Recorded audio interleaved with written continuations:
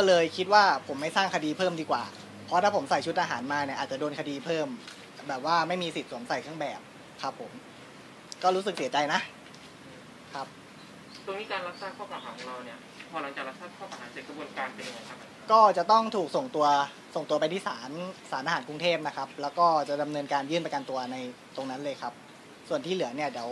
ถ้ามันมีอะไรเกี่ยวข้อกฎหมาย ผมจะให้พี่รอนซึ่งเป็นทนายส่วนตัวแล้วก็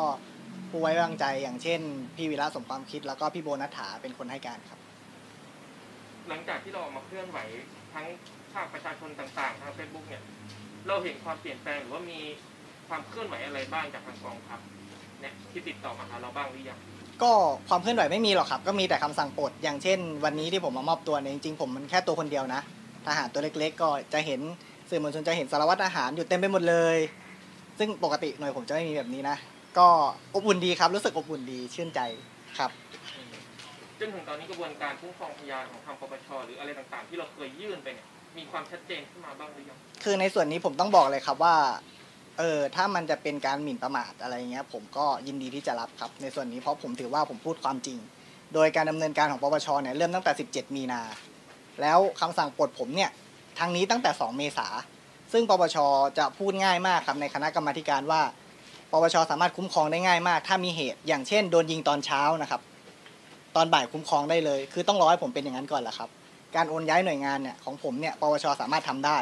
แล้วสามารถมีคำสั่งตั้งแต่ 17 ที่ผมไปยื่นด้วยซ้ำเพราะในหลักฐานที่ผมไปยื่นมันมีอยู่แล้วตามที่สื่อมวลชนเห็นด้านหน้า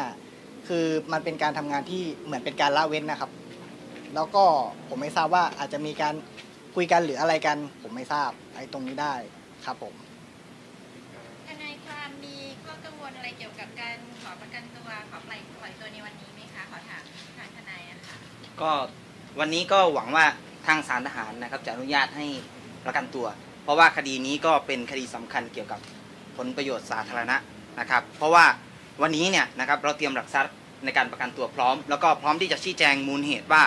เรื่องนี้นะครับมันเกี่ยวข้องกับการเรียกร้องให้ตรวจสอบการทุจริต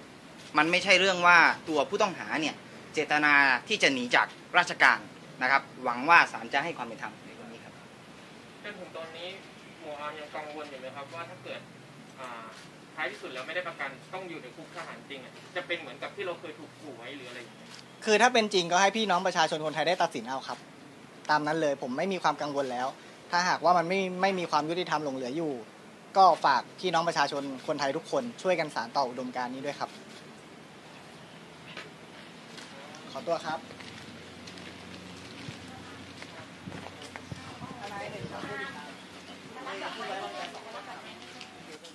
ไม่ไม่ได้ครับ เพราะว่าเป็นผู้ที่ประสานงานแล้วก็เป็นกรรมาธิการคือรองประธานกรรมาธิการครับ เดี๋ยวไปถึงไหนจุดนี้ใช่ไหมครับ ขอบคุณครับครับผม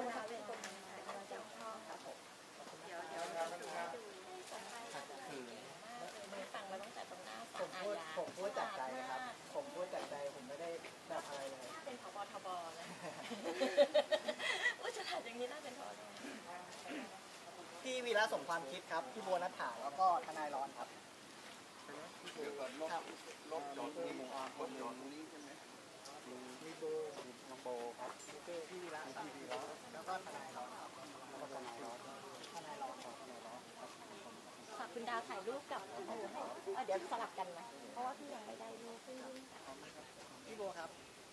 เดี๋ยวก่อนลบสลับกันนะจอคะดนี้เลยแล้วก็เป็นคำสั่งปลดนะคะถ่ายรูปคู่กัน มาได้เลยครับ เดี๋ยวรบกวนเป็นเสียงนะคะคุณชนโลอยู่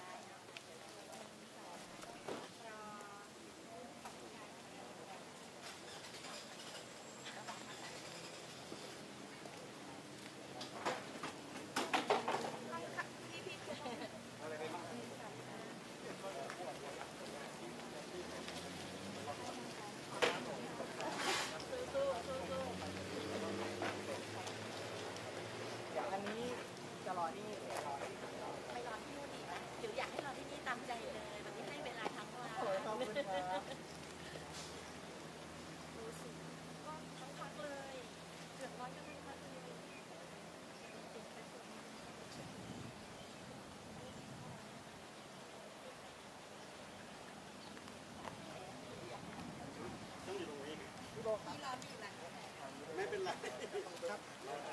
เขาไม่ให้บัตรผมครับใช่รัสารทหารเลยค่ะก่อนสารน่าจะสารทหารครับผมได้ครับขอขอขอยิ้มเอามาถึง